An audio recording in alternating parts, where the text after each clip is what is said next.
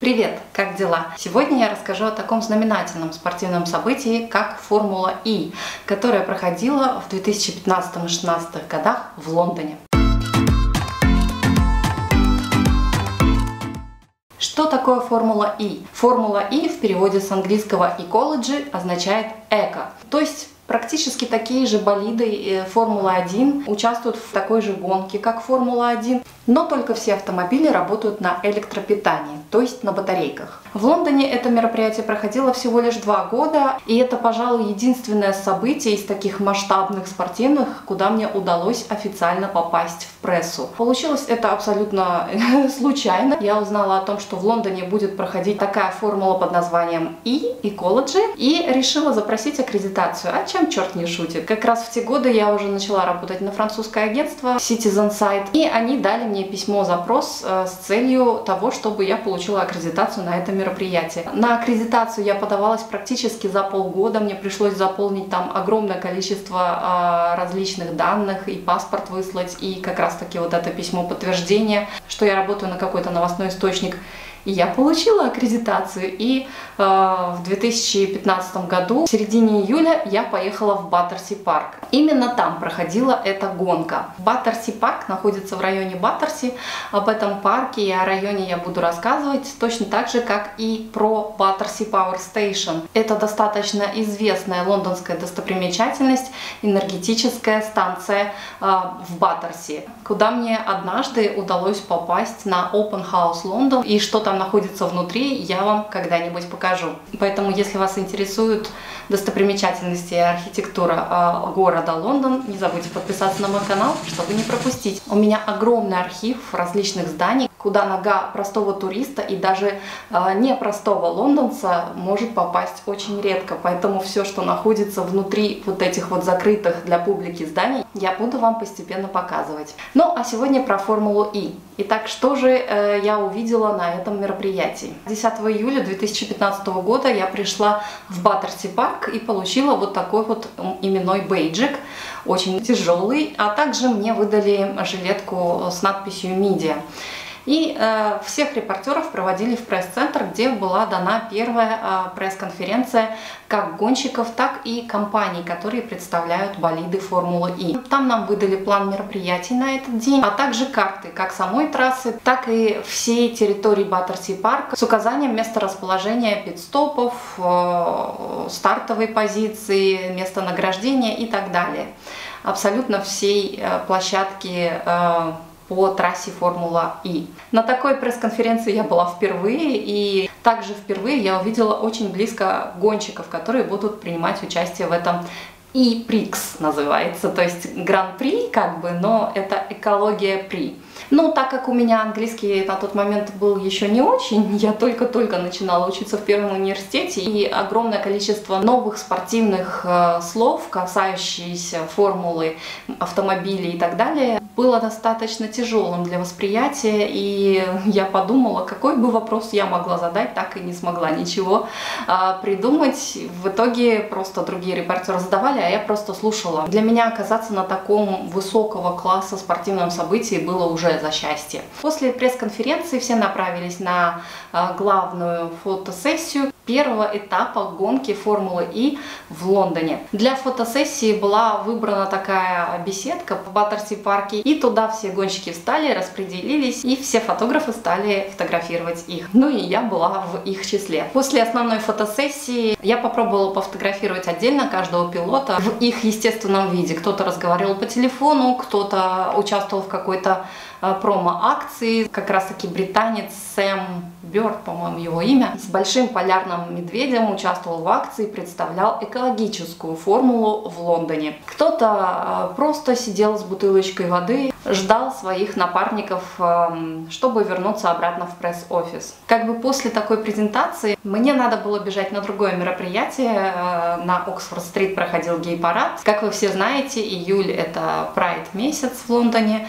И в один из выходных дней, будь то первый или второй второй э, уикенд в Лондоне проходит Pride парад, о нем я уже рассказывала. Если кто не помнит, смотрите в этом ролике. И там у меня тоже была аккредитация, я отсняла этот парад и бегом побежала обратно в Баттерси парк уже на гонку. Ну, а на самой гонке мне удалось попасть на стартовую позицию и э, поснимать как болиды Формулы И, так и их пилотов. Ну и э, каких-то знаменитых спортивных гостей, там, например, таких как Фитипальди или Алан Прост. Многие лица были знакомы, но кто есть кто, я э, узнавала уже потом впоследствии, когда подписывала свои фотографии. Я решила пойти недалеко от стартовой позиции, где-то в 200-300 метрах от старта.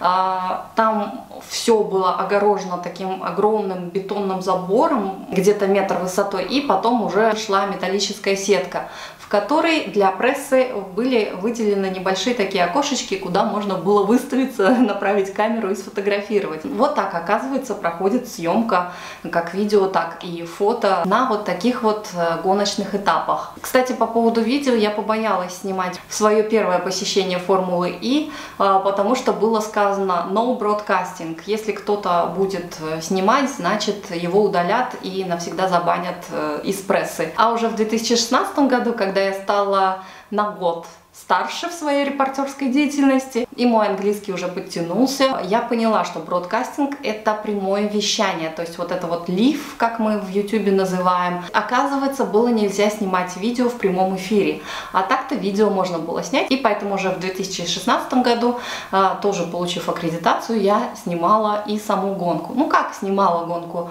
Так, несколько моментов для а, новостей. Ну и для своего ролика. Я снимала оба дня в 2016 2016 году. А в 2015 году э, я попала только в субботу, а в воскресенье, я уже рассказывала, я работала в тот момент няней в русской семье. Если кто не помнит, смотрите в этом ролике. И воскресный этап гонки Формулы И в 2015 году я пропустила. В 2016 году я была полностью свободна от своих обязанностей няни, поэтому э, посетила оба дня. И также накануне, в пятницу, был организован пресс-день, где мне также удалось заснять абсолютно всех гонщиков Формулы И, и также их технический персонал. А, кроме того, я попыталась по максимуму пофотографировать и поснимать на видео э, пит-стопы, э, болиды и даже э, на самой стартовой площадке по максимуму снимала и всех гонщиков, как вблизи, так и издалека, и как они между собой общаются. Это очень интересное для меня было событие, так как я уже рассказывала. Я в детстве увлекалась гонкой Формулы-1 и болела за Михаэля Шумахера. Все свое детство мы с братом каждый уикенд практически смотрели эту гонку. А также мне удалось побывать на награждении пилотов, которые выиграли гонку. Ну и их э, представителей компании и технического персонала тоже награждали кубками. И было это достаточно весело, потому что меня облили шампанским, прямо в камеру залили. А, ну, если вы не знаете, то пилоты, которые выигрывают гонку, сначала получают кубки, а потом плескаются шампанским друг в друга и во всех зрителей. Такая вот у них традиция. На награждении присутствовал и Алан Прост, и даже Антонио Бандерас. Естественно, всех этих звезд не узнаешь в простой повседневной одежде. Поэтому только после того, как объявили, что награждать будет Антонио Бандерас, я такая, о, что, кто тут?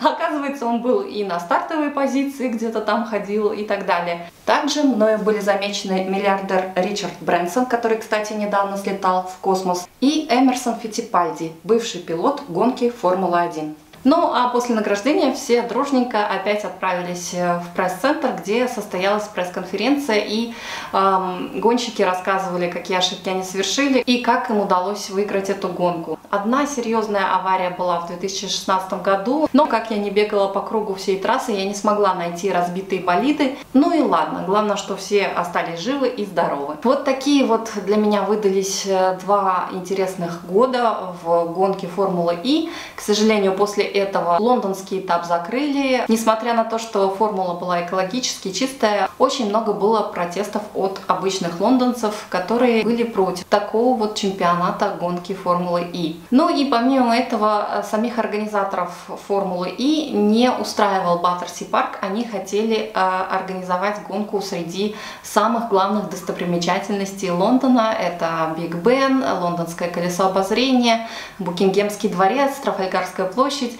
Э, вот такой вот круг вот они хотели организовать. И в связи с тем, что э, многие лондонцы были против, и мэрии Лондона пришлось отказать в таком вот э, экзотическом лондонском заезде, формула И в Лондоне прекратилась. Кстати, недавно я нашла информацию о том, что в этом году этап гонки Формула И будет проходить в Лондоне в Royal Docks вокруг выставочного комплекса Excel. И уже буквально в этот уикенд, 24-25 июля, состоится лондонский этап гонки Формула И. Так что все, кто желает посмотреть это мероприятие, добро пожаловать в Восточный Лондон. Поговаривают, что в следующем году, в 2022, Формула И уже вернется в центр Лондона. Вроде бы как организовали какую-то трассу, все договоренности учтены, и Формула И будет проходить в самом сердце британской столицы. Как оно будет, поживем, посмотрим. Пока на этом все. Не прощаюсь с вами. До новых встреч!